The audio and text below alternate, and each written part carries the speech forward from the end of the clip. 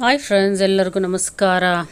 ಪ್ರತಿಯೊಬ್ಬರ ಮನೆಯು ಸ್ವರ್ಗದಂತೆ ಇರಬೇಕು, ಸಂತೋಷದಿಂದ ಇರಬೇಕು, ಮನೆಯ ಜನಗಳ ಮಧ್ಯೆ ಒಂದು ಹೊಂದಾಣಿಕೆ ಇರಬೇಕು, ಅನ್ಯೋನ್ಯತೆ ಇರಬೇಕು. ಆಗಲೇ ಮನೆಯಲ್ಲಿ ಲಕ್ಷ್ಮಿ ಯಾವಾಗಲೂ ತಾಂಡವವಾಡ್ತಾ ಇರ್ತಾಳೆ. ಸೊ ಆದ್ದರಿಂದ ಈ ಕೆಲವೊಂದು ತಪ್ಪುಗಳನ್ನು ನೀವು ಮನೆಯಲ್ಲಿ ಅಪ್ಪಿತಪ್ಪಿಯೂ ಸಹ ಮಾಡಬೇಡಿ. ಮನೆಗೆ ಬರ್ತಾ ಇದ್ದಂಗೆ, ಮನೆಯಲ್ಲಿ ಕೂತ್ಕೊಳ್ತಾ ಇದ್ದಂಗೆ ಅಲ್ಲಿ ಒಂದು ಪಾಸಿಟಿವ್ ವೈಬ್ಸ್ ಅನ್ನೋದು ನಮಗೆ ಫೀಲ್ ಆಗಬೇಕು. ಈ ಮನೆಯಲ್ಲಿ ಇನ್ನೂ ಸ್ವಲ್ಪ ಹೊತ್ತು ಇರಬೇಕು, ಸ್ವಲ್ಪ ಹೊತ್ತು ಮಾತಾಡಬೇಕು, ಸ್ವಲ್ಪ ಹೊತ್ತು ಕಾಲ ಕಳಿಬೇಕು ಅನ್ನೋ ಫೀಲಿಂಗು ನಮ್ಮಲ್ಲಿ ಬರಬೇಕು. ಆ ರೀತಿ ಬಂತು ಅಂತ ಹೇಳಿದ್ರೆ ಮನೆಯಲ್ಲಿ ಸಂಪೂರ್ಣವಾಗಿ ಒಂದು ಸಕಾರಾತ್ಮಕ ಶಕ್ತಿ ಇದೆ ಅಂತ ನಮಗೆ ತಿಳಿದು ಬರುತ್ತೆ.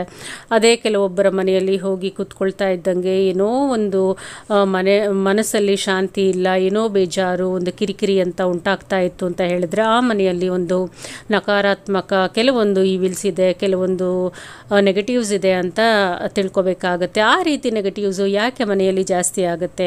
ಅದಕ್ಕೆ ಕಾರಣಗಳು ಏನು ಅಂತ ಈಗ ತಿಳ್ಕೊಳ್ಳೋಣ ಮನೆಗೆ ಬಂದ ತಕ್ಷಣ ನೀವು ಚಪ್ಪಲಿಯನ್ನು ಯಾವುದೇ ಕಾರಣಕ್ಕೂ ನಿಮ್ಮ ಮನೆಯ ಎಂಟ್ರೆನ್ಸ್ ಅಂದರೆ ಸಿಂಹದ್ವಾರದ ಮುಂ ಮುಂದುಗಡೆ ಯಾವಾಗಲೂ ಚಪ್ಪಲಿಗಳನ್ನು ಬಿಟ್ಟು ಮನೆ ಒಳಗಡೆ ಬರಬಾರದು. ಈ ರೀತಿ ಚಪ್ಪಲಿಗಳನ್ನು ಬಾಗಿಲು ಮುಂದೆ ಬಿಟ್ಟು ಬರ್, ಬಂದ್, ಬರ್ತಾ ಇದ್ದೀರಾ ಅಂತ ಹೇಳಿದ್ರೆ ಮನೆಯಲ್ಲಿ ಲಕ್ಷ್ಮೀ ದೇವಿ ನೆಲೆಸೋದಿಲ್ಲ.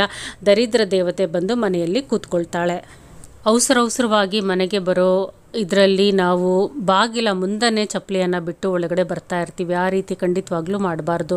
ಚಪ್ಪಲಿಯನ್ನು ಚಪ್ಪಲಿ ಸ್ಟ್ಯಾಂಡ್ ಹತ್ತಿರ ಬಿಟ್ಟು ಸಾಧ್ಯವಾದರೆ ಕಾಲನ್ನು ತೊಳ್ಕೊಂಡು ಮನೆ ಒಳಗಡೆ ಬಂದರೆ ತುಂಬಾ ಒಳ್ಳೆಯದು ಹಿಂದಿನ ಕಾಲದಲ್ಲಿ ಈ ಒಂದು ಅಭ್ಯಾಸ ಎಲ್ಲರಲ್ಲೂ ಇತ್ತು ಅಂತ ಎಲ್ಲರಿಗೂ ಗೊತ್ತೇ ಇದೆ. ಅದು ಒಂದು ಒಳ್ಳೆಯ ಉದ್ದೇಶಕ್ಕಾಗಿ ಕಾಲು ಕೈಗಳನ್ನು ತೊಳ್ಕೊಂಡು ಮನೆ ಒಳಗಡೆ ಬರ್ತಾ ಇದ್ರು. ನಮ್ಮಲ್ಲಿ ಯಾವುದಾದ್ರೂ ಒಂದು ನೆಗೆಟಿವ್ಸು ಕಾಲಲ್ಲೋ ದೇಹದಲ್ಲೋ ಇತ್ತು ಅಂತ ಹೇಳಿದ್ರೆ ಅದನ್ನು ಆಚೆ ತೊಳೆದು ಒಳಗಡೆ ಬರುವಂಥ ಒಂದು ಒಳ್ಳೆ ಅಭ್ಯಾಸ ಹಿಂದಿನ ಕಾಲದಲ್ಲಿ ಮಾಡ್ತಾ ಇದ್ರು. ಆದರೆ ಈಗಿನ ಕಾಲದಲ್ಲಿ ಕೈಕಾಲು ತೊಳೆದು ಮನೆಗೆ ಬರುವಂಥ ಯಾವುದೇ ಅಭ್ಯಾಸ ಇಲ್ಲ. ಆದರೆ ಚಪ್ಪಲಿಗಳನ್ನಾದರೂ ಮನೆಯ ಸಿಂಹದ್ವಾರದ ಮುಂದೆ ಬಿಡದೆ ಸೈಡಲ್ಲಿ ಚಪ್ಪಲಿ ಸ್ಟ್ಯಾಂಡಲ್ಲಿ ಬಿಟ್ಟು ಒಳಗಡೆ ಬರುವಂಥ ಅಭ್ಯಾಸವನ್ನು ಮಾತ್ರ ಖಂಡಿತ ನೀವು ಮಾಡ್ಕೋಬೇಕು. ನೀವು ರಾತ್ರಿ ಮಲಗಿದ್ದಾಗ, ಮಧ್ಯರಾತ್ರಿಯಲ್ಲಿ ಹೆದರ್ಕೊಂಡು, ಉಳುಕ್ ಬಿದ್ಕೊಂಡು ಹೇಳ್ತಾ ಇದ್ದೀರಾ? ಅಂದರೆ ಮಕ್ಕಳು ಸಹ ರಾತ್ರಿ ಮಲಗಿದ್ದಾಗ ಹತ್ಕೊಂಡು ಹೇಳ್ತಾ ಇದೆಯಾ? ನಿಮಗೆ ಪ್ರಶಾಂತವಾಗಿ ನಿದ್ದೆ ಅನ್ನೋದು ಬರ್ತಾ ಇಲ್ವಾ? ದಿನನಿತ್ಯ ನಿಮಗೆ ಕೆಟ್ಟ ಕನಸುಗಳು, ಪೀಡೆ ಕನಸುಗಳು ಬೀಳ್ತಾ ಇದೆಯಾ? ಇವುಗಳಿಗೆ ಕಾರಣಗಳು ನೋಡೋದಾದರೆ ಖಂಡಿತವಾಗ್ಲೂ ಯಾವುದಾದ್ರೂ ಒಂದು ನಕಾರಾತ್ಮಕ ಶಕ್ತಿ ಅನ್ನೋದು ಆಗಿರುತ್ತೆ. ಸೊ ಇದರಿಂದ ಹೇಗೆ ಹೊರಗೆ ಬರೋದು ಅಂತ ಹೇಳಿದ್ರೆ ನೀವು ರಾತ್ರಿ ಮಲಗೋದಕ್ಕಿಂತ ಮುಂಚೆ ನಿಮ್ಮ ದಿಂಬಿನ ಪಕ್ಕದಲ್ಲಿ ಆಗ್ಬೋದು ಮಂಚದ ಕೆಳಗಡೆ ಆಗ್ಬೋದು, ಒಂದು ಹಿತ್ತಾಳೆ ಚಂಬಿನಲ್ಲಿ ನೀರನ್ನು ತೆಗೆದುಕೊಂಡು ಅದಕ್ಕೆ ಸ್ವಲ್ಪ ಕಲ್ಲುಪ್ಪನ್ನು ಹಾಕ್ಕೊಂಡು ಮಂಚದ ಕೆಳಗಡೆ ಇಟ್ಟು ಮಲಗಿದ್ದೆ. ಆದರೆ ನಿಮಗೆ ಪ್ರಶಾಂತವಾದ ನಿದ್ದೆ ಅನ್ನೋದು ಬರುತ್ತೆ. ಯಾವುದೇ ಒಂದು ನೆಗೆಟಿವ್ಸ್ ಇದ್ದರೂ ಎಲ್ಲ ತೊಲಗಿ ಹೋಗುತ್ತೆ ಇದು ಖಂಡಿತವಾಗ್ಲೂ ಒಂದು ಸಲ ಮಾಡಿ ನೋಡಿ ಬೆಳಿಗ್ಗೆ ಎದ್ದ ನಂತರ ಚಂಬಿನಲ್ಲಿರುವ ನೀರನ್ನು ಹೊರಗಡೆ ಚೆಲ್ಲಿಬಿಡಿ. ಈ ರೀತಿ ನೀವು ಕೆಲವು ದಿನಗಳು ಮಾಡಿ ನೋಡಿ ನಿಮಗೆ ಆಗುವಂಥ ಬದಲಾವಣೆಗಳೇನು ಅಂತ ಗೊತ್ತಾಗುತ್ತೆ. ತುಂಬ ಪ್ರಶಾಂತತೆಯಿಂದ ಯಾವುದೇ ತೊಂದರೆಗಳಿಲ್ಲದೆ, ಕೆಟ್ಟ ಕನಸುಗಳಿಲ್ಲದೆ ನಿರಾಳವಾಗಿ ನಿದ್ದೆಯನ್ನು ಮಾಡ್ತೀರಾ. ಮಕ್ಕಳು ಸಹ ಸಂತೋಷದಿಂದ ರಾತ್ರಿ ನಿದ್ದೆಯನ್ನು ಮಾಡ್ತವೆ. ಇದರ ಜೊತೆಗೆ ನೀವು ಬೆಳಗ್ಗೆ ಎದ್ದಿದ ತಕ್ಷಣ ಓಂ ಅನ್ನೋ ಮಂತ್ರ ಹೇಳುವಂಥ ಒಂದು ಚಾಂಟಿಂಗನ್ನು ನೀವು ಮನೆಯಲ್ಲಿ ಹಾಕಿ ಬಿಡಬೇಕಾಗುತ್ತೆ. ಈ ರೀತಿ ನಿಮಗೆ ಮನೆಯಲ್ಲಿ ದಿನಾಗಲೂ ಈ ಓಂಕಾರನಾದ ಒಂದು ಶ್ರಾವ್ಯಬದ್ಧವಾಗಿ ಕೇಳಿಸ್ತಾ ಇತ್ತು ಅಂತ ಹೇಳಿದ್ರೆ, ಮನೆಯಲ್ಲಿ ಯಾವುದೇ ನೆಗೆಟಿವ್ಸ್ ಇದ್ದರೂ ಹೊರಗಡೆ ಹೋಗುತ್ತೆ.